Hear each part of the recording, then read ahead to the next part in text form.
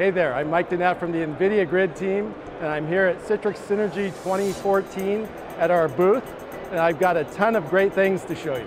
Front and center is our virtualized gaming demo. So you're probably asking, why a gaming demo at Citrix Synergy? Well, gaming is extremely hard to virtualize. High frame rate, high resolution graphics, and a lot of interactivity. If we can show you we can virtualize gaming, then you probably get the idea that we can virtualize enterprise IT applications as well. So we're running virtualized gamings on the same technology that you find in our Grid K1 and K2 boards. Our next demo is XenApp, and we're running Autodesk AutoCAD and Autodesk Revit. And we have a designer that's building a house over the next three days, all running from the cloud. The next demo is, is Adobe Photoshop running on XenDesktop.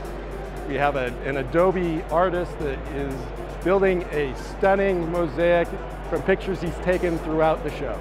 So that's it from our booth here at Citrix Synergy 2014. If you want to try Grid for yourself, go to www.nvidia.com forward slash try grid.